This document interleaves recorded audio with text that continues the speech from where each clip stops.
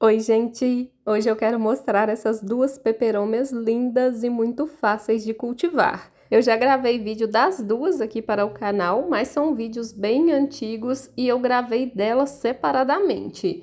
Hoje eu quero mostrar as duas aqui bem de pertinho, começando por essa daqui, que é a Peperomia obtusifolia. Ela tem essas folhas verdes bem bonitas e bem brilhosas.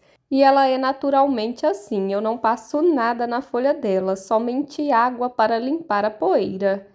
A folha dela é bem grossa, parece até uma folha artificial, mas ela é bem de verdade. Esse pendão aqui é a floração dessa planta. Como você pode ver, não é muito ornamental, a beleza fica por conta da folhagem. Esse pendão eu até costumo cortar.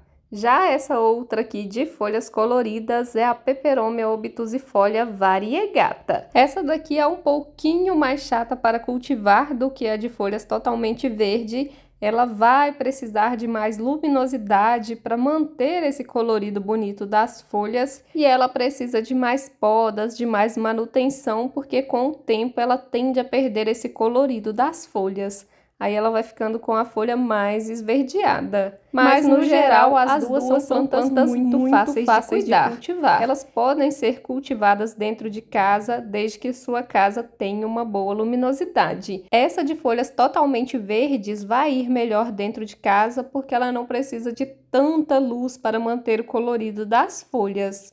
Isso não quer dizer que ela vá bem em sombra total precisa daquela claridade natural, mas ela não é tão exigente com luz quanto a variegata. Eu já cultivei essa planta aqui dentro de casa, mas como ela cresceu muito, eu precisei retirar ela de lá e encontrar um outro cantinho para ela. Inclusive, ela está plantada aqui em um vaso de 5 litros e eu cultivava ela em um vasinho pote 10, daí dá para ver o tanto que ela cresceu.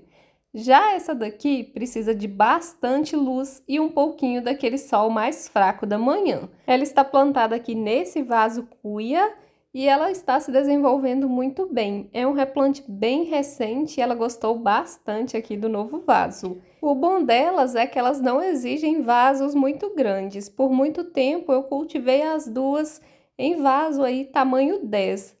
Agora, mais recentemente, que eu replantei elas nesses vasos maiores. E elas também podem ser plantadas diretamente no solo do jardim. Eu lembro que a minha avó tinha uma moita enorme dessa daqui debaixo de um pé de manga. Ela fazia forração lá do local.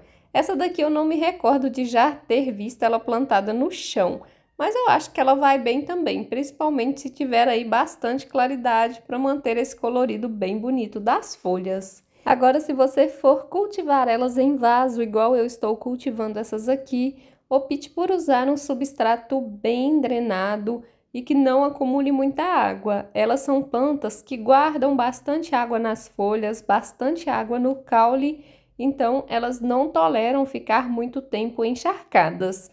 Um substrato ideal para elas é o substrato de suculentas. Elas são plantas aí suculentas, então elas vão gostar muito desse tipo de substrato. Inclusive, eu plantei essa daqui com o substrato que eu costumo usar aqui nas minhas suculentas. É aquele substrato bem fofinho, bem drenável. Olha aqui de pertinho como ele é. Ele é bem solto.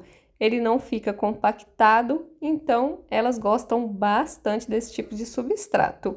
Ele é uma mistura de terra vegetal com areia grossa para construção, tem palha de arroz carbonizada, tem também a perlita expandida, então é um substrato aí que fica muito drenável. Em relação às regas, elas são plantas que gostam de regas moderadas. Você precisa esperar o substrato secar antes de fazer a rega novamente. É muito fácil saber o momento certo de regar. É só colocar o dedo no substrato e sentir como esse substrato está. Se você sentir que ainda tem umidade, você não rega. Se você sentir que ele já está totalmente seco, se o seu dedo sair limpo do substrato, você pode fazer a rega. Se você não quiser usar o dedo, você pode usar um palitinho de churrasco, um palito de picolé e enterrar no substrato. Se o palito sair limpo, significa que esse substrato está seco. Se sair sujo e ali meio molhado, significa que ainda tem umidade e não precisa regar. E como fazer mudas da Peperomia obtusifolia? As mudas dela são muito simples de fazer, você pode fazer a partir da estaquia, que é quando você corta um galho e planta ele em um vasinho com substrato. Esse galho vai criar raízes e você vai ter uma nova planta. Uma outra forma de fazer mudas é a partir da divisão da touceira ou retirada dessas mudinhas que vão brotando aqui no caule. Você pode retirar ela com um pouquinho de raízes, plantar em um outro vaso. Geralmente essa muda vai se desenvolver melhor, vai se desenvolver mais rápido e você vai ter um outro vaso de peperômia. E também tem a terceira forma de fazer mudas, que é a partir das folhas. Você pode pegar uma folhinha como essa, você vai destacar ela aqui do caule, vai colocar em um vasinho com substrato, manter esse substrato levemente úmido, vai demorar bastante, mas essa folha vai criar raízes e depois ela vai emitir brotações. Aí você vai ter um novo vaso de peperômia. Na minha opinião, a forma mais fácil de fazer mudas é a partir da divisão da touceira não tem erro. A sua muda vai pegar com bastante facilidade. Mas as outras duas formas também funcionam aí para fazer mudas da peperômia obtusifolia. Em relação à adubação, eu confesso que eu não sou muito de adubar elas, e elas não são muito exigentes quanto à adubação, mas elas são seres vivos e, como todo ser vivo, elas precisam de nutrientes para se manterem bonitas e saudáveis. Então, eu recomendo que você faça sim adubações aí na sua peperômia. Você pode usar adubos orgânicos, como por exemplo os estercos, a farinha de osso, o bocache você pode escolher uma dessas adubações e colocar uma pequena quantidade no cantinho do vaso a cada três meses ou de acordo com o fabricante. Se você preferir, você pode usar uma adubação química, como o NPK. Siga sempre as orientações do fabricante em relação à dosagem e também o espaçamento entre uma aplicação e outra do adubo que você escolher. Sobre as pragas e doenças, essas são plantas bem resistentes elas não costumam pegar pragas com facilidade, mas as pragas mais comuns que atacam esse tipo de planta são os pulgões, as cochonilhas, as lesmas, as lagartas. É sempre bom observar as folhas, olhe por baixo das folhas. As cochonilhas e os pulgões costumam esconder embaixo das folhas, no caule da planta, e a lesma e a lagarta vai comendo as folhas, então elas são mais fáceis de identificar.